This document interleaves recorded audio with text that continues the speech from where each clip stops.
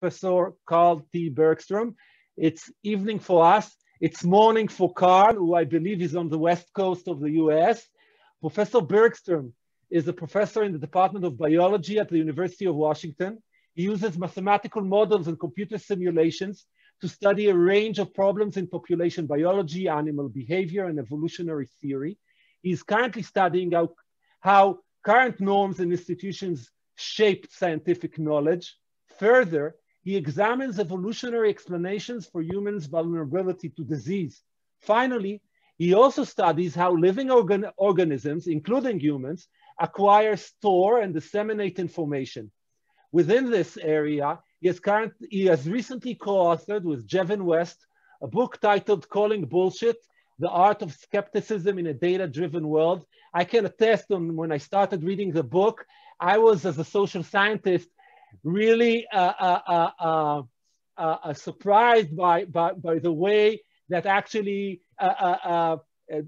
Jevin and Carl connect misinformation among humans, which I am rather acquainted with, with misinformation, disinformation among other animals. And it's a very thought-provoking take on, on, in part on what kind of is common to all animals, whether they walk on two legs or not. Uh, so uh, following his talk, we will hold the question and answer session, a brief one in English. The audience is invited to post questions either in English or in Hebrew in the Q&A box, accessible through the on-screen Zoom menu. And I will relay those questions, time permitting, to Professor Bergstrom. Uh, so Professor Bergstrom, uh, it's a real honor for, for you to join us today and the virtual uh, podium is yours please. Thank you. Thank you very much, uh, Roy. It's a, it's an honor and a pleasure to be here. So um, I'm just going to try to share my screen here with everybody. And uh, let's see, we'll like, give me just one second, I guess. Let's see. Um, there we go.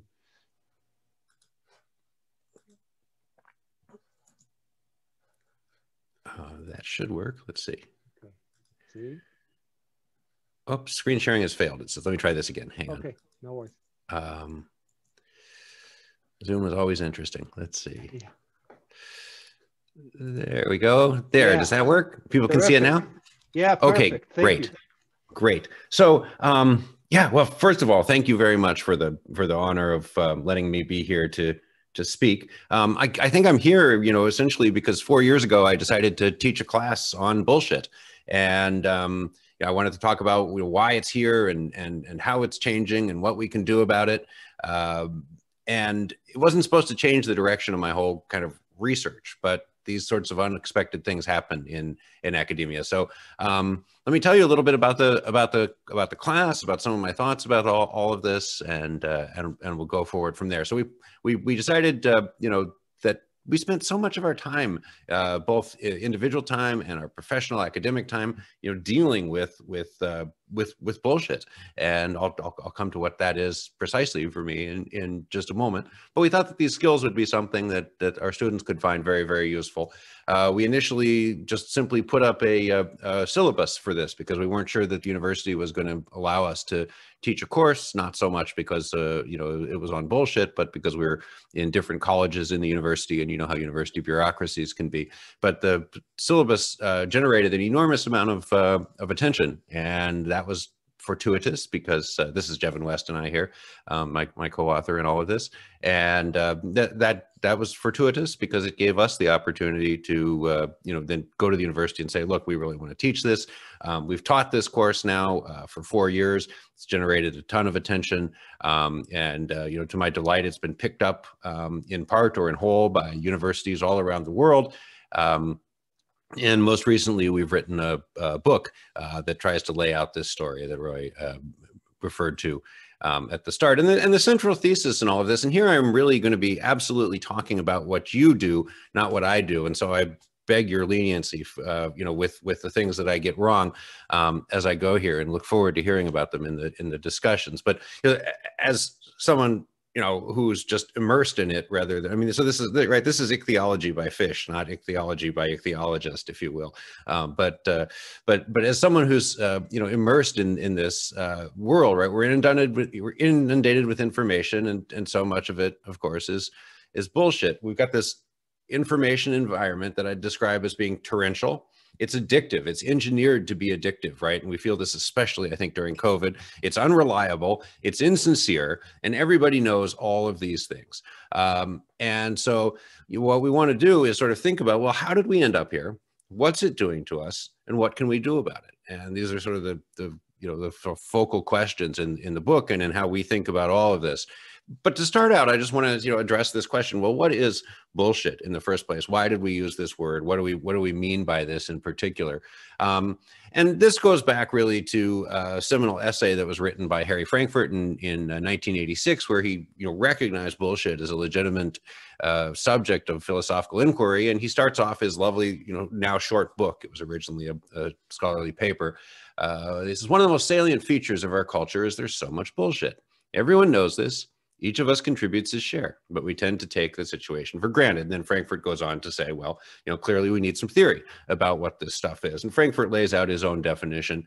Um, Jevin and I have spent a lot of time thinking about what we mean by the term, and I'll just present you with our with our definition here. And we think that bullshit involves language, statistical figures, data graphics, and other forms of presentation that are intended to impress, overwhelm, or persuade presented with a blatant disregard for truth, logical coherence, or what information is actually being conveyed. And so it's really all about trying to create a certain impression and perhaps um, you know bowl the reader over with or the or the listener over with with one's brilliance and such um, without actually informing that person.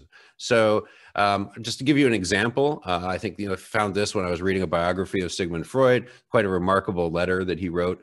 Um, he says, "So I gave my lecture yesterday. Despite a lack of preparation, I spoke quite well and without hesitation, which I ascribed to the cocaine I had taken beforehand."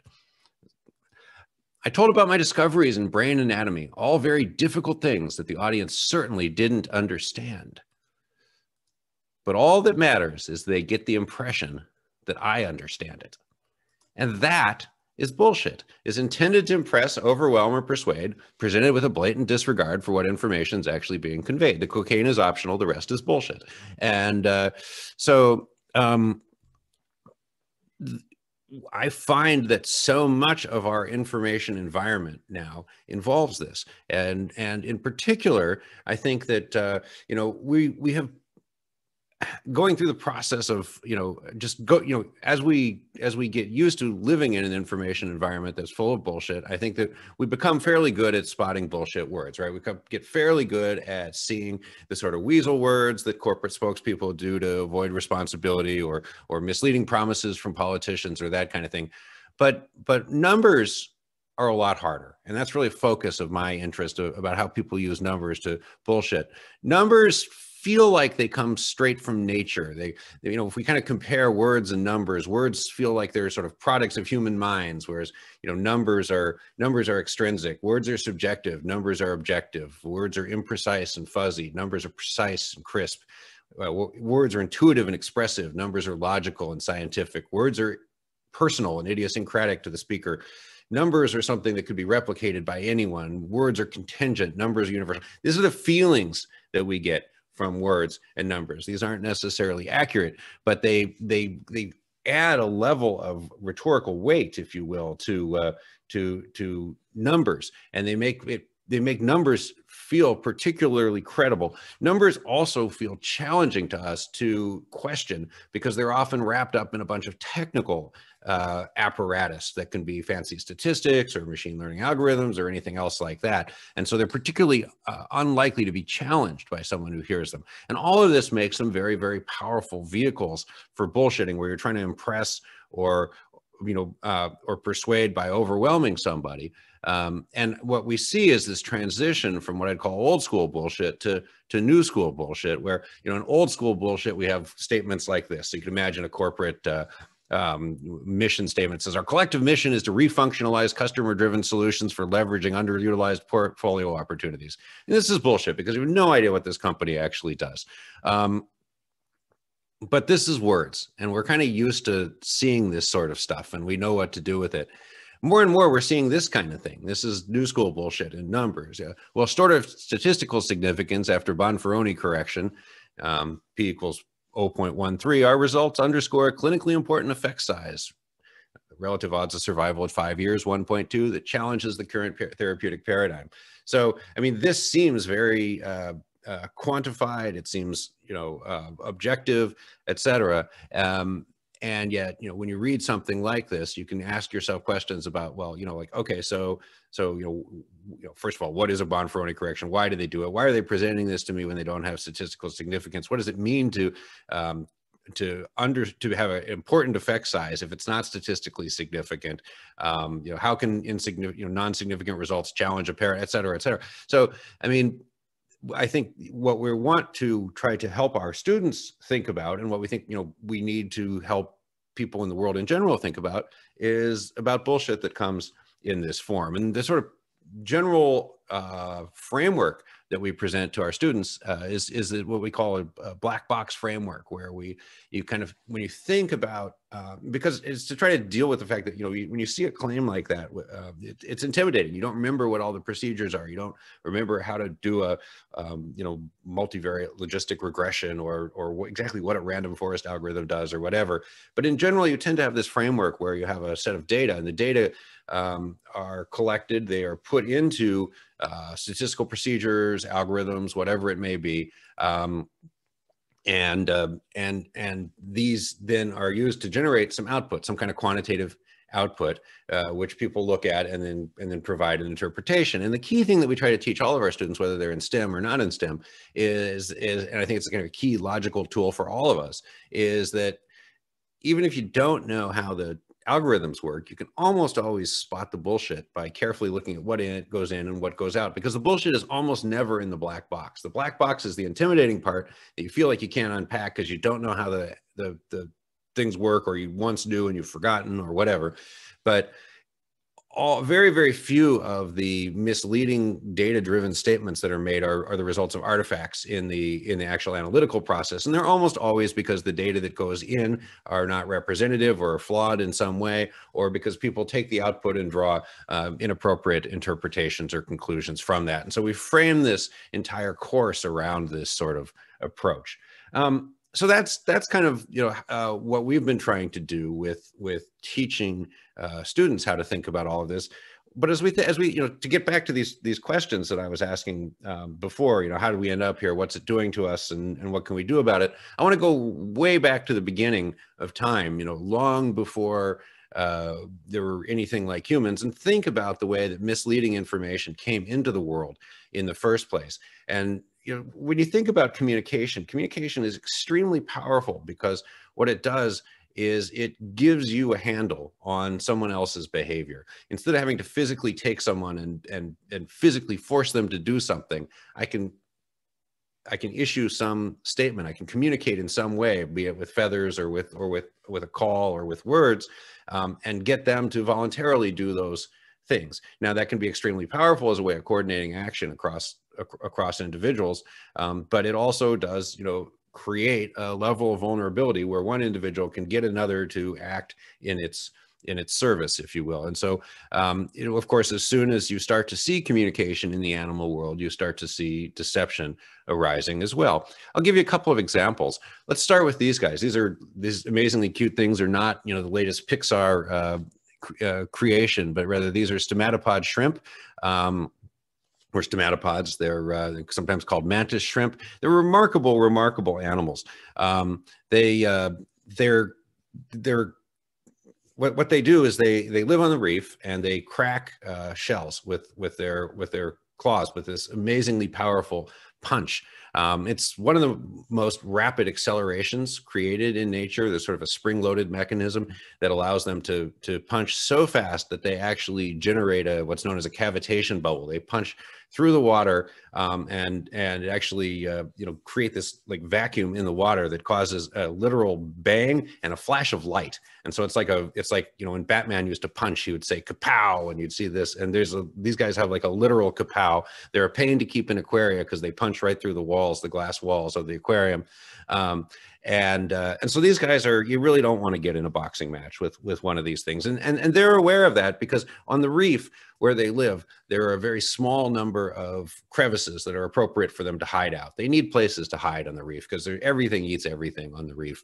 And and um, and so these crevices are in very high demand and they fight over them. And uh, so typically when one when one comes up to the to another um, it, there's one that's hiding in the reef and one comes up to the one that's hiding in the reef and uh, and what they'll do is they'll they'll wave these big claws around um, as a way of sort of sizing each other up, right? And this waving thing, you know, if there's a you know if if, if you have a big strong one and it'll wave its claw and it says, "Hey, look, I'm willing to get in a fight. I'll punch you if you try to take my hole and then the other one kind of looks at that and decides whether to leave or whether to or or whether to try to you know still uh, push it push the one away. And, and often if the one in the hole is small and the one attacking it is big um, then the one in the hole will take off and and and swim away through the reef and, and turn over the hole to the to the attacker. Um, that's what happens most of the time.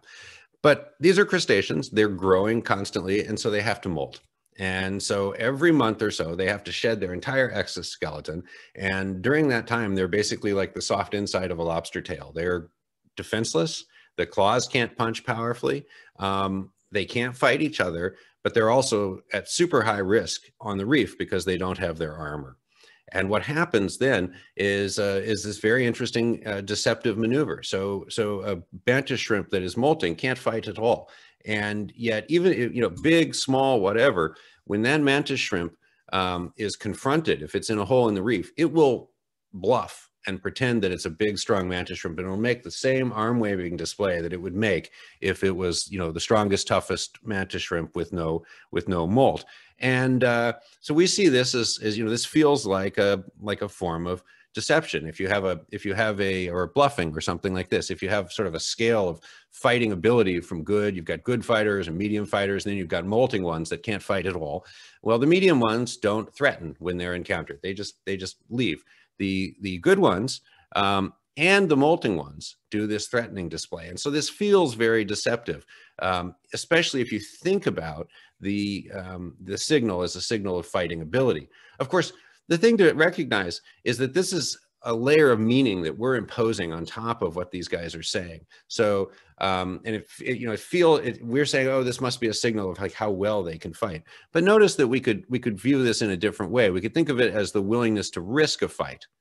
Um, and if you think of it as the willingness to risk a fight, now you have um, a different story. So the good ones are willing to risk the ones that are in good condition are willing to risk a fight because they'll win. The ones that are molting are willing to risk a fight because it's sort of a death sentence to be molting and go out on the reef.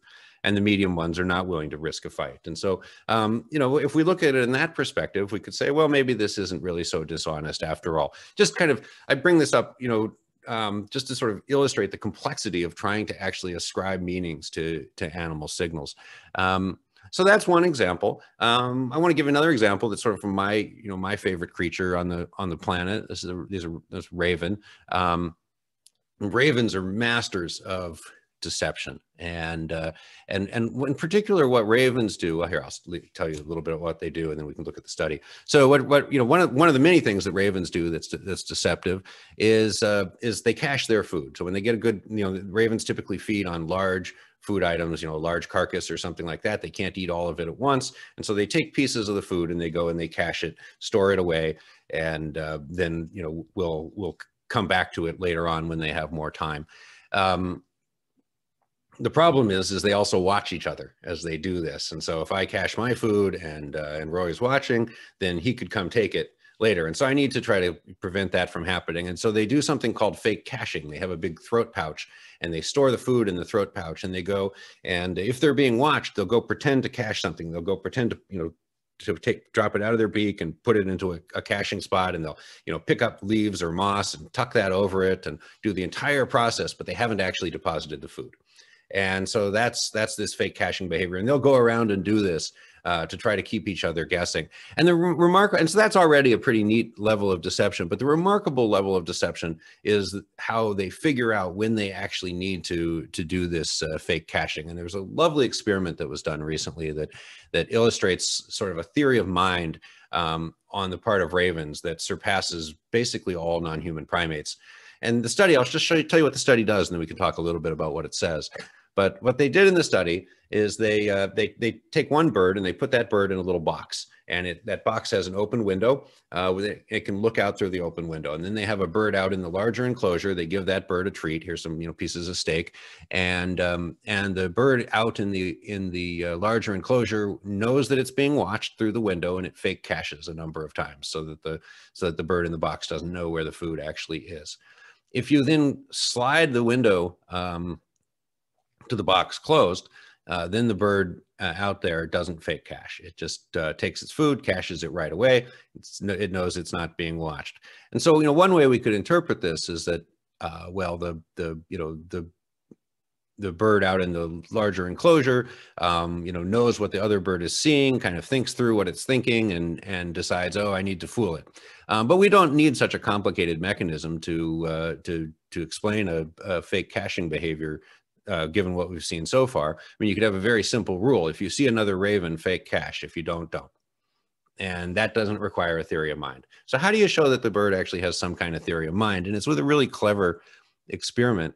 What they did um, is, in addition to having the big open window, they put a little peephole in the box.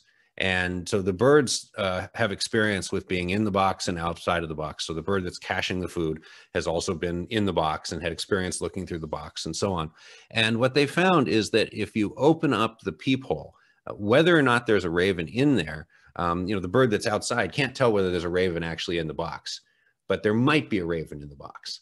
And if you open up the peephole, um, then that raven that might be in the box uh, would be able to see you uh, as you go through your caching. And so they found that if they open up the peephole, that's enough to get the the there doesn't have to be a bird in there. Just open up the peephole. That's enough to get the raven out in the larger enclosure to fake cache. And the only way that we can think to explain this is that the bird in on the outer enclosure understands that there could be a bird in the box and understands that that bird would be seeing uh, you know, if there were a bird there, it would be seeing what was going on. And so here we actually have a situation where, where we're, you know, where we have a bird that's, you know, using fundamentally uh, theory of mind. It is a it is imagining what a bird that might even be might not even be there would think um, which which has an enormous parallel, by the way, to to our use of social media. Right, is like when we when we post something on Twitter or on Facebook or or Instagram. I mean, we're putting ourselves in the minds of people that might not even be listening, and might not even be out there, and trying to create certain impressions. Right, and so this is really like a key thing about you know in sort of moving toward uh, more sophisticated bullshit. If you're trying to manipulate somebody, you need to be able to put yourself in the place of your mark and be able to think through what they might be thinking. And and Ravens clearly have that. Humans have something else. Humans have combinatorial communication um, that allows us to say an infinitely expand, you know, sort of an infinite expanse of different things. You know, the, the signaling systems that uh, most animals have are, are limited. There are you know a relatively small number of things they can say, but we can of course create uh, brand new sentences and all of that with our with our language systems, and that allows us to bullshit people in ways they've never been bullshit before. And so we so you can you can um, you know we we we can constantly we can have this sort of you know running arms race where people are trying new ways to confuse and so on. And so i think there's sort of you know we start off that paper that we wrote uh, actually long before we worked on bullshit that we wrote 16 years ago or something um, with this martin buber uh, thing the lie is the specific evil which man has introduced into nature. So you know as, as good as as good as deceivers are as animals as animals are i think we're different. All of our deeds of violence and our misdeeds are only, as it were, a highly bred development of what this and that creature nature is able to achieve in its own way. But the lie is our very own invention, different in kind from every deceit that the animals can produce. And I think because of the, the fact that we can use combinatorial communication to constantly lie in new ways that have never been lied before, we do have a different sort of level of deception um, than we've seen anywhere else. And that, you know, especially through the expansion of social media and stuff, has sucked us down into this vortex where we are now, where we've got this, uh, you know, information environment that is that is so difficult to navigate and is so insincere and misleading and, and so on. Um, so, um, so let me, you know, run through some of these questions clearly, and this is where I'm treading most most uh, you know, uh, badly on on on on your turf. So uh, if all of this is wrong, I look forward to hearing how. But this is this is how I see it as an outsider, and I'm really influenced by um, by work that's been done in biology again in all of this about the way that uh, developments uh, in information technology and biology change the way that uh, um, that change the sort of possibility space of what organisms can do. Uh, but but in any case, um, let me take you through a little bit of this. So you can sort of and so so what do I mean by this? Right, the medium we use influences what we say and how the message spreads. And as as media evolve, um, it's possible to to actually communicate about new kinds of things. So if we think back to sort of a, a pre-literate society where you have simply an oral tradition, there's certain kinds of information that you simply don't expect to to communicate about. And one of the most important, I think, of those is is like numerical records. So when you start to look at some of the first, um, you know, written uh, documents, you look at Sumerian tablets or something like this, you see a lot of uh, numerical tables like this. I believe this is a tax ledger here, and that's something you know. So you can you can store a myth. Uh, you can store an epic poem in in in, in an oral tradition, but uh, much much harder to store like a tax record in oral tradition. And then you know i i, I tell jevin you know oh yeah you know um, remember we had this song about how you owe me all this money? And and he says no no no the song was about how i owe you a tenth of that much money. And and we we, we don't agree. But if it's stamped in if it's stamped in clay it's you, you can say different kinds of things you know both in terms of the veracity of it but also in, in, in the sort of permanence of it but also just in terms of like can you imagine you know having having songs of long tax tables and stuff like that. It just doesn't doesn't work. So so as you develop, you know, written writing, you can communicate about about new things. Of course, on tablets, you know, there's there's there's limited. They take up enormous amounts of space, and so then you can you can switch to papyrus and to paper, and then you can generate these kinds of you know remarkable uh, you know libraries where you can fit so much more information into a into a limited amount of space, and that allows you to uh, write about many more things, and so you can store more uh, you know greater wealth of knowledge um, in in a limited space, and so so so sort of the the the total amount of you know stored human knowledge in, in written form expands dramatically as because of that shift in information technology. But you know when you're still having to write out things by hand like this you have to you know who can commission a book? You have to be you know either a member of the clergy or the nobles to have the wealth to be able to commission a handwritten book like this. And so there's a very tight filter on who gets to decide what's written and what's written about and what's written down and and so on. And so of course then the the printing press radically changes this because anyone can can now uh, you know print this. And and there's a lot of anxiety about this at the time right? So here's uh, the scribe filippo de strata says writing indeed which brings in gold for us should be respected and held to be nobler than all goods unless she has suffered degradation in the, in the brothel of the printing presses. So um, you know this is uh, uh, he seems to be concerned about the about the you know about the purity of of the written word. I think he's probably more concerned about job security. This is a man who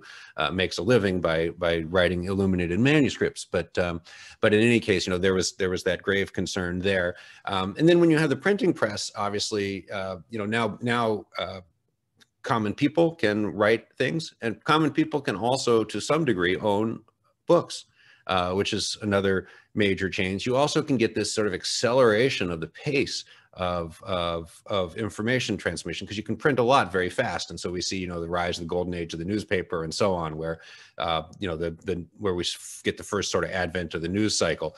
Sort of brilliant innovation um, in, uh, in, in information technology is the notion of the lending library.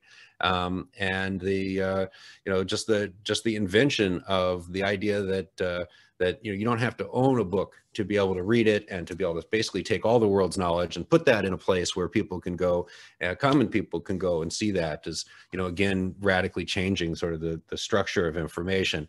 Um, and then we kind of move closer to the present day and here's a here's a quote from uh, sociologist neil postman and he says well yeah, this isn't all good. Uh, the invention of new and various kinds of communication has given a voice and an audience to many people whose opinions would otherwise not be solicited and who, in fact, have little else but verbal excrement to co- contribute to the public issues. And so this sounds like exactly like a perfect description of social media. Um, and Neil Postman wrote this in 1969 he's not talking about social media at all. He's talking about uh, you know the rise of television simply for the sake of entertainment, um, you know trash magazines and all of that sort of thing. Um, and so at this point, you know, he's already, this is, you know, every generation complains about this stuff. And this is something we have to remember. In any case, we do get this, you know, next innovation where it occurs to people, hey, let's take all the compute, you know, let's start linking computers together and letting them share information. So this is MTS. It's an early predecessor of an internet-like system developed at Michigan. Um, and this, of course, radically changes things as well. When you get to the point where you're linking all these computers together, and then you bring online things like digital typesetting, um, you know, as well as the World Wide Web and, and powerful search engines, then everyone can become a information producer at very, very low costs. You take away the usual gatekeepers uh, that that had been there all along in terms of uh, you know uh, requiring a certain amount of social and and uh, economic capital in order to produce content for other people to read. Um, and so you know now you can the, the, promise. I remember being so excited about this in the very early 1990s. Is this is going to democratize democratize the worldwide conversation and bring all of these unheard voices online and and there is some truth to that. Um, but what it also did is it also undermined the role or undercut the role uh, that editors and producers and things were playing. And so we had this enormous volume of material that's out there, and uh, and and no one to help us sort through it. Um, and so we came upon a solution um, of social media where we all play the roles of editors for one another.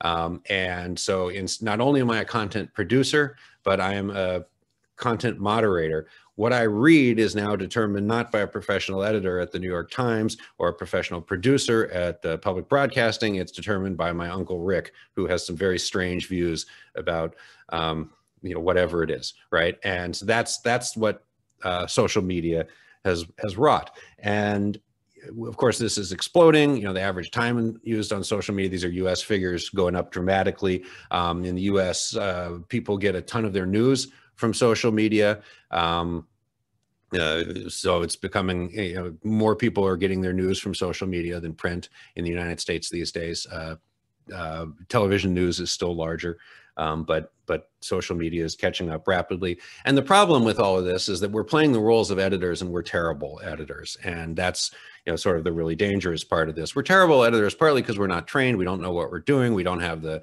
sort of reputational stakes involved that would be there for editors, and partly because when we're sharing things on social media, we're doing it for quite different reasons than um, than than editors are doing uh, for the most part when they're choosing what to publish in a magazine. And, and Judith Donath at MIT uh, points this out. You know, and and the idea is that on social media, when you share something, you're not just sharing it to inform or persuade. You're sharing it as a marker of identity. You're sharing it to to proclaim your affinity with a community. And so the idea is, if I go on social media and post something like this, you know, here's Trump. It says, "Demand Obama's records, won't release his own." Right?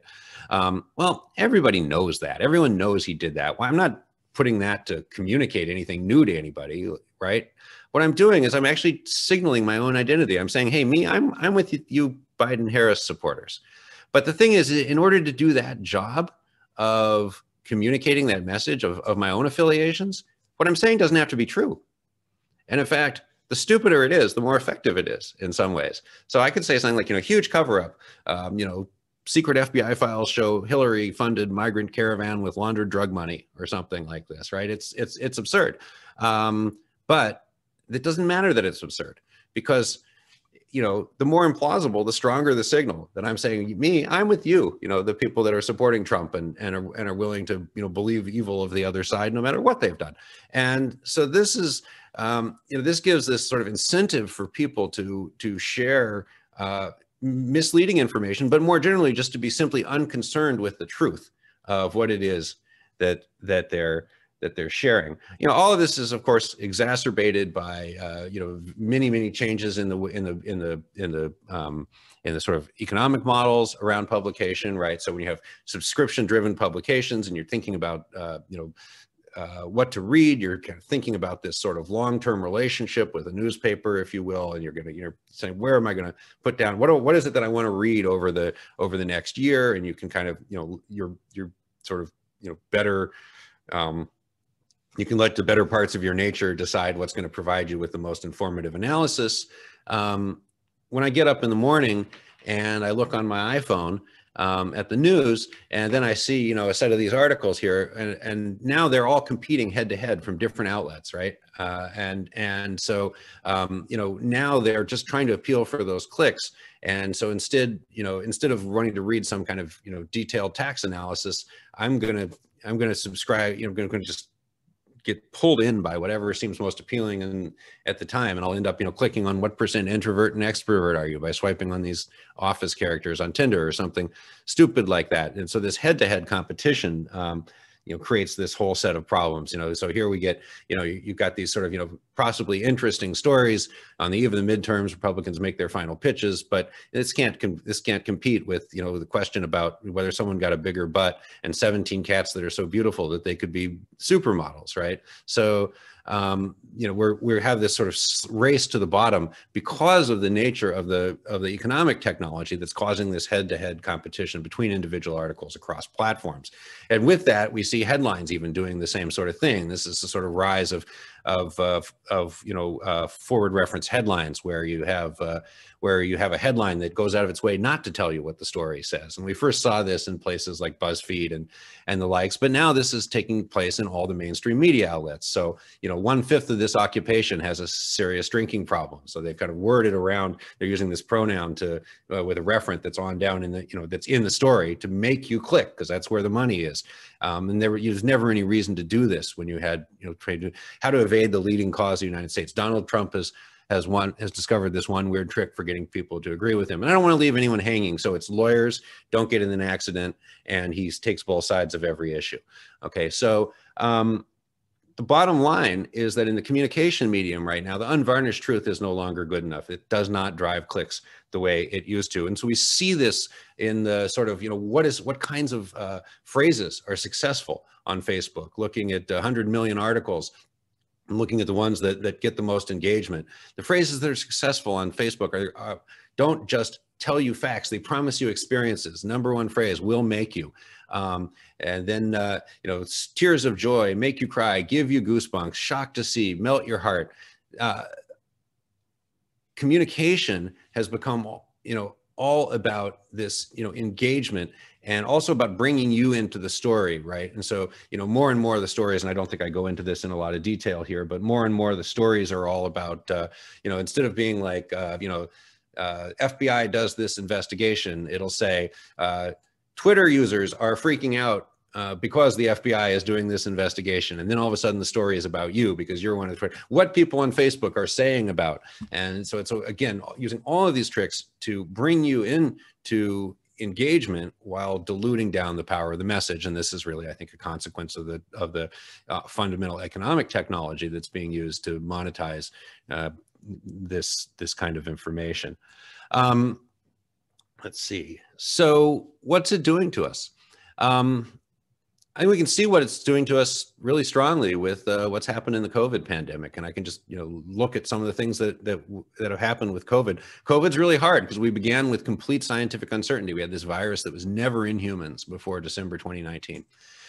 And so we've got all this scientific uncertainty, but into that uncertainty vacuum, we have all we have di- organized disinformation campaigns flowing, right? All these, uh, you know, f- uh, organized, uh, you know, presumably often state level uh, kinds of disinformation and propaganda, trying to scare up, um, you're trying to scare people or or reverse, uh, you know, make people think that that the whole thing is a hoax. Um, we get disingenuous government messaging, right? We have uh, have the government standing up and lying about what's going on and and worse yet often telling saying two different things at the same time. So on the same day that uh, that Trump was uh, saying you know there were only 15 people had it and it was going to go away and and Larry Kudlow was saying we've contained the virus. Um, the CDC was saying this is going to be a huge outbreak and it's going to be an enormous problem. Um, we have uh, people that are you know decide that they you know Dunning Kruger effect 19 so these are people that decide well I'm good at analyzing data so I you know epide- how hard can epidemiology be? And then they you know put out their own analyses. You have a lot of fake studies in astroturfing um, just like we've seen with uh, you know in, in other areas with you know in conservation and in uh, and in tobacco and things like that. Um, you know the, in the, you have all these dreadful preprints being published that are that are you know completely irresponsible one of the most uh, viewed papers ever on social media was withdrawn in two days. It was a paper that claimed that it uh, Um, it was this had not been through peer review. It was posted. It claimed that there were big chunks of the HIV genome in in the COVID genome, and uh, and therefore it was a bioweapon. This was completely false. Um, but despite the fact that it was completely false, and despite the fact that the authors re- withdrew it in two days, you know, it, it exploded across the internet. The peer-reviewed work is just as bad. On the left, left we have a peer-reviewed paper that claims that uh, 5G actually causes uh, coronavirus to uh, self-assemble within the cells. The paper the right, we have a much more serious paper that was much more dangerous, um, which was the paper that uh, that was I, am suddenly blanking on whether it was in uh, in JAMA or what, but it was one of the really high-profile uh, medical journals that claimed that claimed to find deleterious effects of uh, of hydrochloroquine as a result of that paper. The hydrochloroquine a number of hydrochloroquine trials were canceled. Turned out the, that the data were entirely manufactured out of thin air and, were, and it was a fraud. Um, we see bad reporting. I won't go into that. We see cherry picked data, just an excuse to get some ravens in. Um, we see organized agnatogenesis, um, the, the, sort of you know, deliberate campaigns to create uncertainty around uh, scientific facts that we've seen. Robert Proctor's written about this a lot. We've seen this with uh, big tobacco. We've seen it with big oil.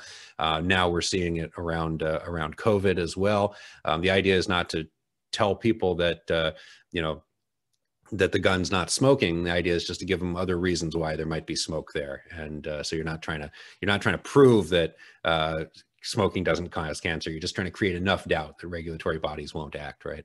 Um, and all of this leads inadvertently or you know on purpose or, or not on purpose to uh, something that looks very much like this falsehood fire hose strategy of propaganda. Here's here's Garry Kasparov summarizing the point of modern propaganda isn't to just to misinform or make you believe the wrong things. It's to annihilate your truth, right? It's to exhaust critical thinking. It's to put out so many different mutually contradictory stories that you throw up your hands and say, God, I don't know what to think. I, I give up. And you know whether we like it or not, that's what our modern media environment has done to us around COVID. Um, even professionals have a very hard time figuring out what's going on, and and, and it's nearly impossible for for lay people. Um, what can we do about it? And I'll I'll conclude with this with this section. Um, mean, there are a bunch of approaches, right? Technology is one approach. Uh, you know, if you can if you can keep a straight face while saying that you're going to use machine learning or artificial intelligence to to detect fake news, you can you can get venture capital money in Silicon Valley right now. Um, I'm not optimistic at all. Uh, those are very very hard problems, and uh, the power of uh, of um, adversarial machine learning. So you can set up a machine learning algorithm to that can learn how to beat the algorithms that that use machine learning to find fake news. I don't think that you know ultimately technology is going to be very successful. I mean, I could give a whole talk on each of these, but I'm just putting these ideas up. You know, there's notions of regulation, right? We could try to make fake news illegal. We could, um, we could. Uh, I think you know there are places where we can ask for greater transparency on the part of uh, you know social media companies, where we can ask for greater user control, that kind of thing. But overall, I don't think we can really regulate our way out of this mess. Um, uh, you know, coming from the United States, I have this very strong allegiance to First Amendment principles, and so I don't want to see speech criminalized, uh, mainly because I don't trust uh, the person who gets to decide whether something is say fake news or not right if fake news becomes illegal and we have a president who thinks that anything he doesn't like is fake news that creates a real problem and so i'd rather just say okay fine anyone can say anything um, you know short of uh, you know call, shouting fire in a crowded theater so i think regulation while we can make some gains on the margins isn't going to be the solution. And where so where I've put my chips, if you will, is on education. And I think we can teach people how to navigate this changing media environment, just as we have over and over and over again through that whole series of examples that I talked about before. You know, people thought that uh, that with the advent of written of of of uh, of the printing press, you know, now it was going to be impossible for anyone to learn or understand anything. There are these long, you know, diatribes about how scholars won't be able to do scholarship anymore because there's going to be too much out there, and and anyone can can print lies, you know, on, on a printing press, and and we we found our way around that by and large. And you can just only imagine what people must have thought, you know, in the newfangled world when people invented writing, and you know, you can imagine the complaints that uh, that the poets and and uh, um, and such would have had at the at the at the time. Um, so education. I mean, I think we've got to teach our students, and this is really where I've focused, is on this new school bullshit, on numbers, on the role that numbers play to mislead. And we've got to teach our students to question them. And I think we're not doing a great job of that. We, you know, when we teach uh, science, technology, um, engineering, mathematics students, uh, we teach them to be very good at the me mechanics of doing things. So they can, they can, you know, invert a matrix, they can write code, they can, you know, run a gel, do all these kinds of things. But we don't do a good job of teaching them to think critically the way that people do in the humanities and the social sciences because we just never teach them to bang ideas up against each other and to grapple with with challenging conflicting ideas and to figure out how to do all of that kind of stuff. And and you know we're i think you know fundamentally failing our students in the um, in in STEM education in that way. And so that's really what we're trying to do with our course, right? So we've laid out this syllabus. We're trying to teach the students who are coming from STEM to actually think like someone in the philosophy department. We're trying to teach the students coming from the art department or the philosophy department or the politics department that they can they don't have to know what's in the black box in order to see through the the BS. Um, you know, we put up these case studies. The entire first version of the course is out there in these little five minute videos. And we, so we teach them a whole bunch of topics. Um, you know, we talk about the sort of disinformation landscape. Um, then we teach them some very basic sort of, you know, critical thinking skills, particularly that involve numbers. You know, how do you think about correlation and causation and selection bias and, and data viz and machine learning and, and how does science work? And then how do you go about refuting things? So just to give you, you know, to end with just a couple of little um, examples here. Um, you know, from again, just drawing from recent things. I mean, there's a million. One thing about working on bullshit is you're never short of, uh, you're sort of never short of, of study material, right? Um, it's not like working on asteroids or something. Um, so, uh, so here's a recent, you know, paper trying teach, teaching our students about uh, um, about thinking about causality and such. Um, uh, so, uh, so, um, you know, bald men are at higher risk of severe coronavirus symptoms. And this paper goes through this whole mathematical, uh, you know, not mathematical, goes through this whole, you know, complex biological explanation about endocrine systems and has all these fancy pathways and, and genetic variations and so on. And then, of course, Forbes that ran this story had to issue this correction. Updated. This piece has been clarified to note that the study did not control for age, which is a risk factor for hair loss and severe COVID-19 so you know i mean this is this is really basic stuff but it but it but it fooled forbes. Um, we teach them about goodhart's law. This is you know the, the way that that numbers that quantitative targets um, can bias behavior right? So when a measure becomes a target it ceases to become a good measure. That's marilyn strathern's rephrasing of goodhart's law. Um, so that people you know when you when you when you uh, test students people teach to the test and then you can then the test is no longer a good measure. Um, then there's Campbell's law, related idea, which I rephrase is when a measure becomes a target, people do stupid things. So, you know, worse than just becoming the measure being not good, it actually incentivizes bad behavior. We've seen that in the US. Um, you know, Trump has seen testing, COVID testing, as a, sort of a report card on the success of his administration um, in uh, in fighting COVID. And uh, so he has sought repeatedly throughout the you know last nine months to undermine testing efforts in the United States, whether you know saying it publicly or meddling with uh, with CDC and other agencies repeatedly in this way. Of course, testing is not only um, a report card on how you're doing, but it's an absolutely critical component of your public health infrastructure that you need to fight these things. And It's really hurt us, and it's you know unimaginable to my colleagues and I that we're now. Uh, um, you know, we're now uh, you know, 10 months in and we still don't have tests in the United States. Um, so this is the sort of Campbell's law sort of thing. We tell people about uh, selection bias. These dentists uh, uh, thought that masks were causing all kinds of uh, tooth damage and uh, and and you know gum damage because um, before the pandemic they were seeing kind of a wide range of patients, um, and then once the pandemic started, the only patients that they were seeing anymore had really severe tooth and gum damage. And they said, well, it must be because of the masks that everyone's wearing. No, it's because who the hell goes to the dentist in the middle of a pandemic? Um, you don't go to get your teeth cleaned. You go because you've got, you know, severe tooth pain, you've got bad gum damage, and they didn't account for that, right? Um, but, you know, here we go. Uh, so we teach our students to sort of think through that. Again, you know, they, they did a little stat analysis, but the but the BS isn't in the stat analysis. It's in thinking that the sample of people that they're seeing during the middle of a pandemic in New York City is the same, you know, and this was in March or April, is the same as the people they were seeing in January. And it, of course, completely isn't. We talk a lot about how to think about, I don't mean to be beating up on Trump here. This is, this is an accident. It's just, we've, this, these are coronavirus examples. Um, and I guess there's been a lot of, of that, a lot of that lately. Um, so the, um, the uh, in fact we try very hard in the course to to hit both sides um, because we want to make sure that everybody feels that this is these are important skills that, that, that they can use. I think everyone's better off. Um, but we teach our students a lot about data visualization. So here's a here's a very impressive looking graph that uh, that Trump put up about testing, and you can see the number of tests are taking off. What it's not labeled here is this is the cumulative number of tests that have been that have been run each day. And so, um, in fact, what this is actually saying is that we've completely failed to increase our testing capacity. Um, but it really looks nice.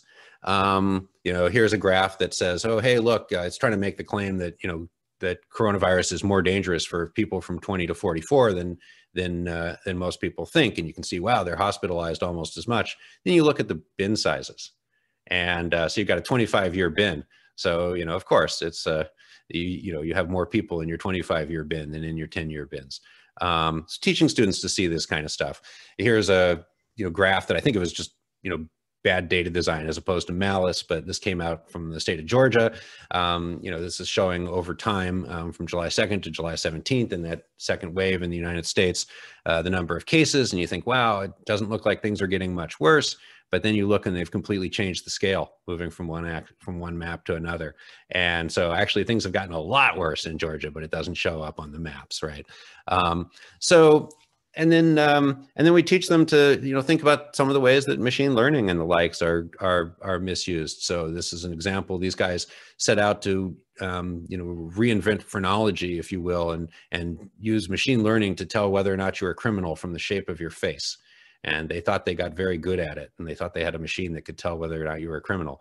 Well, it turns out that they had invented a smile detector because they used uh, they used government uh, photos for the criminals on the top who are frowning, and they used LinkedIn pictures of people who are smiling um, uh, for the non-criminals. And so the algorithm learned to detect smiles, um, but they published that they detected criminals. And so you know this is again coming back. You don't have to understand anything about how that algorithm works. You can just think about the data that got put in the output that comes out and you can see that this kind of stuff is misleading and that's really the core message so ultimately we try to teach our students how to be good digital citizens i mean kind of a, a core rule for us right uh, as as members of the social media world is we need to think more and share less um, and we tell people to remember Postman's third law. Neil Postman's, uh, you know, was the first person to write a published essay about bullshit, and his third law um, in the 60s, radical at the time. It's just, you know, at any given time, the chief short source of bullshit with which you have to contend is yourself.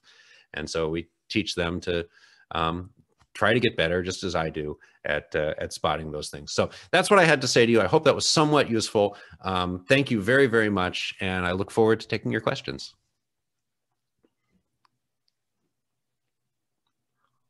Carl, thanks so much for this stimulating, interesting, wide-ranging uh, talk. And uh, uh, just as a, a, teacher of some topics that are related to these, I've collected so many interesting examples I'm going to be using in my class, oh, wonderful. classroom. So that's really, really great.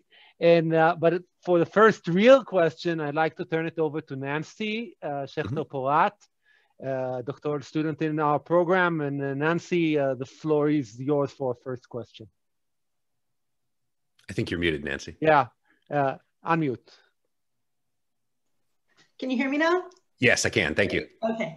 Thank you very much for this fascinating lecture on bullshit. It was great. Um, Thank also, you. so many examples. Um, I don't think I'll ever be able to think of 45 again without thinking about a multi a molting madness uh, mantis shrimp. absolutely right. yeah, um, so I understand that education is, is a solution. I mean, clearly mm-hmm. that that is the bottom line and one that intuitively, of course, we all agree on. Um, you're in a very interesting place right now, especially that you have this class that you've been giving over the years, I understand. Mm-hmm. And it'd be fascinating. Have you done any long-term studies about these? Because they're also in your university for four years, I assume. Mm-hmm. Any long-term studies of taking a looking at these uh, students down the line and comparing them to others? I mean, no, just, we really need to do this. To and do uh, you know, this is a great question. I I need to figure out how to do assessment on this, and and not only short term but long term. It's hard enough to figure out how to write tests in a class on bullshit. Um, it was particularly hard to figure out how to do it this year when when when we had to do it in ways that they could use Google and everything else. But we had a good time doing that actually, and it made our testing a lot better. Um, but in but yeah, so so no, the the assessment is something we have to figure out. I think you're right. You want to do um, you want to be testing sort of um, you know over time as you know as the students go forward in the university. Um, and and you know, so what what Jevin and I really hope is that this course would be a class that students could take, you know, in their first year when they come, and then they could sort of make a pain of themselves for the rest of the time that they're there by, you know, by thinking this way and in their classes and asking asking these questions and and so on. Um, and I think we're moving toward being able to do that. The we, one thing that sort of cursed us early on was the class was very very popular, and so it mm-hmm. so it fills up at uh, it you know it, it fills up. Um, it's it's not as bad now, but it was filling. It's 160 students, and it and it was it was filling up in under a minute at midnight to the graduating seniors.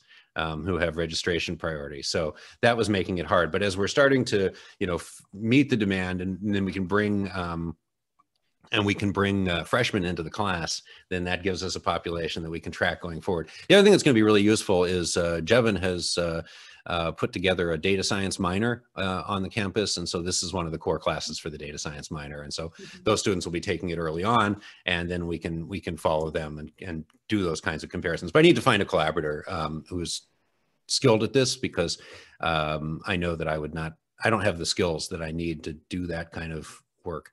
Um, so unfortunately i don't have actually like i mean it's exactly the right question right oh you're talking about all this bullshit now like now like pr- prove it works. Or like well actually i can't. I'm just bullshitting. But but it's uh, um at least i don't think i'm bullshitting but i don't have the, the level of quantitative evidence that i would really that i would really like and we need to figure out how to get that. Mm-hmm. thanks nancy. Thank you. So uh so a question from uh, from the audience um uh uh, Yariv Tzfati, a colleague of mine from the department, is asking, how would you design a social media platform to minimize the spread of bullshit? Fantastic question. Um, yeah, we talk about this a lot at the uh, at the Center for the Informed Public. That that so actually one of the things that fun things that came out of this class and and you know resulted in this sort of career direction change for me was um, we received a large grant a year ago from the Knight Foundation to set up a, a uh, organization called the Center for the Informed Public that is uh, set, you know, it's basically a group of faculty from all over campus, from law and policy and and engineering and computer science. Um, and uh, and inf information school and communications. Um, so it's you know drawing from all over um, to address exactly these kinds of issues. And uh, so so that we we do worry a lot about about how would you do that. I mean, I think um, it's really tricky, right? Because the the the um, incentive to generate. So I mean the you know the all the monetary incentives that are there are are to generate clicks. And so, um, you know, everything about the way these platforms are organized is to try to keep people on um, on the platform, to keep them clicking, to keep them engaged. Um, and more or less with disregard for the quality of the information that they're receiving. So, um, you know, Facebook doesn't care whether you're learning anything, but they do care whether you stay on on Facebook. And so the algorithm, and this is all being done algorithmically, right? I mean, so you know, like you know, they're running these A/B comparisons. They can be running, um, you know, dozens to hundreds of them at any given time to see what you know to see what algorithmic recommendations or even you know interface tweaks keep people on the site. Um, and in that sense like social media platforms are the biggest bullshitters out there because they don't care about the quality of information. They're just trying to impress us enough to keep us clicking. And uh, so so how do you break and and and that's you know that is you know to some extent their fiduciary duty to their shareholders and and so on. That's that's what they're trying to do so how do you break away from that i mean i think somehow you've got to um, find a way to um, you know re-envision what the economic model is going to be to uh, support the existence of these platforms. Um, you know, I you know we sometimes we sometimes talk about you know well maybe you should have uh, you know just like you've got uh, public broadcasting or something you should have public social media. Uh, you know even someone even as someone who really uh, tends to be in favor of government services i've you know i've seen how badly governments can screw up anything. And if you you know in the united states if you try to use the uh, you know the national science foundation's grant application platform or something like that, you quickly see uh, just how terrible a, a government uh, created uh, social media platform would be. They just wouldn't get that quite right. So, so it's tricky. I don't know. Um, so I don't know how to do that. I mean, there are little there. We, you know, we we spend a lot more time thinking about tweaks on the margins because we talk a lot with Facebook and and uh, Twitter and and uh, others about this. So, um, you know, I think there are nudges that can help. Right? There's a the, you know the recent Facebook nudge to uh, say, hey, you know, do you want to read the article before you share that? Um, can be can be useful. Um, I think you know, one of the things that is really dangerous is the uh, rapidity of exponential spread on these platforms, and that's something that a lot of the platforms have been trying to deal with. So, uh, you know, WhatsApp had uh, has uh, had particular problems with this. It's used a lot in the developing world, and uh, there you have people that are more recently coming online and are more susceptible even than than Americans to to um, to bullshit. And so you've had all these cases where you've had uh, you know false rumors that get passed around about people kidnapping children or other things that then lead to a lot of gang killing, you know, sort of uh, mob killings and and this sort of thing. And so one of the things that uh, they've tried to do to crack down on that is they've actually um, you know, added for biologists the equivalent of telomeres to uh, to posts. In other words, they uh, you know a post can only be shared five times and then it's dead. Um, so it's, a telomere make it's kind of a way of making sure that a cell can only replicate a fixed number of times and then it can't keep going. Um, and so that so you know things like that to sort of limit the potential for exponential spread uh, can be really really useful. Um, yeah, I, but ultimately, I think that as we you know, if we're in a situation where, um, I mean, again, I guess the other the other piece of this, right, is just this sense of the of the. Um, I mean, all of this is tapping into our uh, natural desires as information foragers. So this is what we've evolved to do. We're just like animals optimally forage for you know finding the right sizes of nuts and make good decisions about that and so on we do that for information and we and and we we we're trying to seek information and you can think about anxiety as you know one of the main sources of anxiety is not only to you know prepare yourself for flight of flight but it's to cause you to seek out more information and we live in a world where uh, where um, where we are anxious, you know, especially during a COVID pandemic, but anytime, and that keeps us seeking information. And how do you keep someone seeking more information? Well, you make them more anxious, and the algorithms figure this out.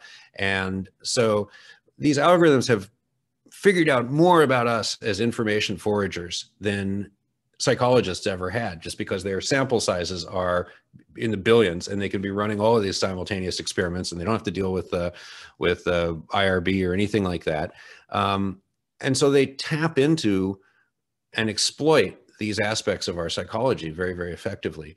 And so, unless we can somehow break the incentives for social media to do that, I think we're going to be stuck in this cycle where the so, where social media is exploiting us instead of vice versa.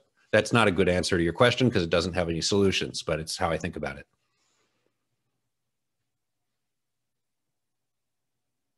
I believe we have time for like two brief questions. So Great. first one, first one from uh, our colleague at Hebrew University, Professor Keren Tenenboim Weinblatt. So Keren is asking, what types of readings are you assigning in this course? Oh, that's a great question. Thank you. So, um, so they're all online. You can take a look. Um, we try to uh, move quite. We try to cover a lot of ground. So, of course, we read. You know, so we read a little bit of uh, philosophy and you know uh, Harry Frankfurt and some of the responses to Frankfurt.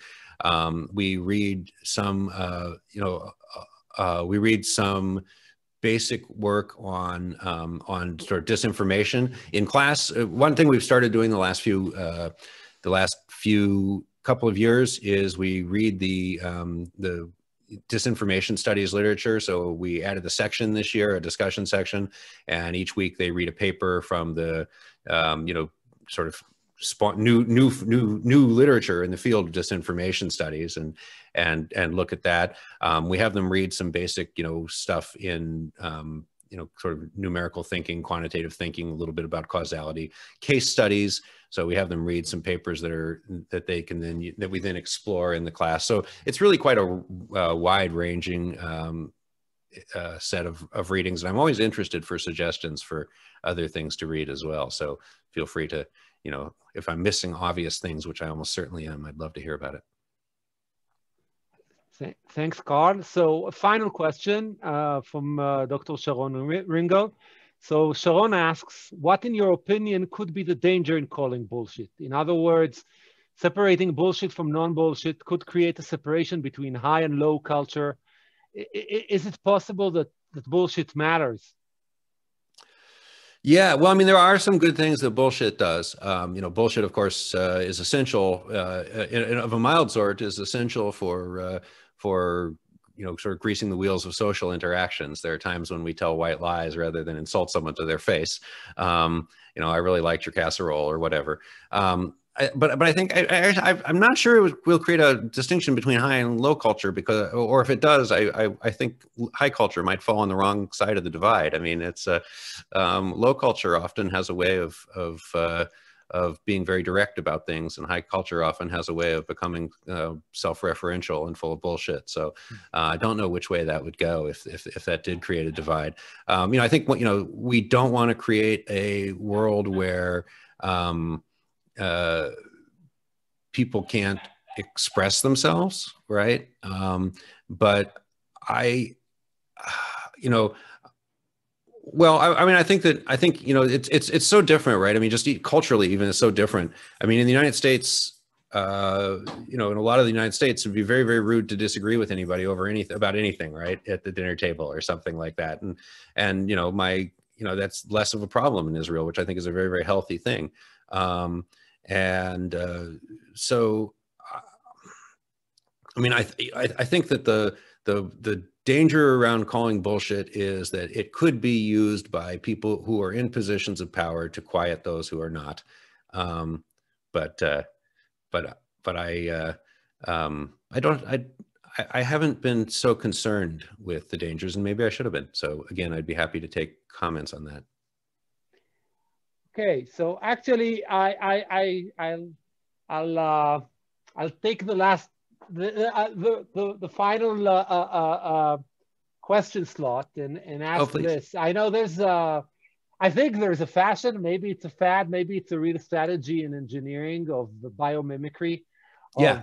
Of right of inspiration from from the animal kingdom, maybe absolutely plant kingdom as well, when designing systems. So I'm wondering from your knowledge of biology, from your work with animals, is there any inspiration we can take from their systems when designing our information systems? I mean, I think there are. Um, you know, the the there's a really interesting um, there's this there's this really interesting parallel development of two fields um, in in economics and in biology that both involve costly signals. And so, um, in biology, it's you know uh, Amotz Zahavi and the peacock's tail and and uh, and and that whole story about the peacock's tail being a costly signal of ability, uh, of sort of of quality. Right, a peacock can show to a female peahen that that he's in very good condition by having this big beautiful tail because a peacock that was sick uh, or not strong couldn't make a tail like that and couldn't get away from predators with a tail like that um, the same uh, and so it's this notion of costly signals it's it, it relates to some of the sort of skin in the game stuff but it really has more to do with the idea that uh, you know uh, that there are different that there are some things that are sort of differentially costly. They're cheap for some people to do and expensive for others. And the, the same um, the same ideas have bec- been very, very influential in economics. They were developed by Michael Spence uh, at almost exactly the same time as Zahavi developed the ideas in biology. And uh, and so um, with with Spence, uh, you know, he was talking about why do people get an education and saying, um, you know, uh, came up with this model where what you learn is in college is actually useless to your future employer, but what it does do is it allows your future employer to more effectively screen between high productivity and low productivity employees because uh, the cost to a high productivity employee of getting a good college degree is is relatively low, whereas um, you know it's something that's hard for a low quality employee to to low productivity employee to fake. Um, Spence got a Nobel Prize for that, and I think the main difference was he wrote down an equation and Zahavi didn't. Um, the uh, um, so I think that you know in that whole area, and, and, and this has just been applied to so many areas of economics now at this point. You know, uh, why why uh, why um, why uh, uh, stock um, companies, why companies issue stock dividends, and all of these kinds of things, right? So um, so I think that is one area where we've already seen a lot of sort of bio-inspired or bio-paralleling um, information design. Um, but it's a great question, and we should think more about that as we think about social media because I haven't thought about that directly with social media. So I'm gonna, you know, I'm not, I don't have any quick smart answers, but I bet there are some. So thank you. Th thank you, thank you, Carl, so much. This has been really fascinating. I know because of the webinar format, not everybody can have the camera access and can clap, but uh, Nancy and Owen will sure join me. Well, and thank you very much. The people at home are gonna uh, uh, uh, join as well. This has been really, really uh, fascinating and thought-provoking, and uh, a real treat at the end of this conference. So I I want to thank you, Carl, for joining us in what is the like midpoint of your weekend on a Sunday morning. instead of eating bagels and cream cheese, you're here. Yeah talking to us about these fascinating topics. But thanks so much, and I Thank want to say. And I want to thank uh, everybody that came to the conference, all the attendees and presenters, and uh, and and and and uh, people who helped organize this conference, grad students, and uh, and and and and everybody. And hope that uh, uh, for all those in Israel, We'll have an opportunity next year, hopefully in December, to meet again, and this time meet face to face. And, uh, and of course, uh, extend an invitation to you, Carl, if you ever come to Israel. We'd oh, love, love, to that. have you face to face in our departmental colloquium. It would be a real, real uh, uh, uh, uh honor. So oh, that would be a real treat. Thank you. I appreciate that. Thank you very much for the invitation. It was a real honor to speak to you all. And and look forward to continuing the conversation. So feel free to reach out by email and tell me all the things that I got wrong because I seriously like. I, I mean, I was talking on your turf, so please, please give it back. I mean, it's uh, you know, call me out on what I need to hear. Okay. Thank you. Thank, Take thank care, you so everybody. Much, Carl, and thank you, everybody. Uh, good night, Laila Tov, Litraot. All the best. Bye bye.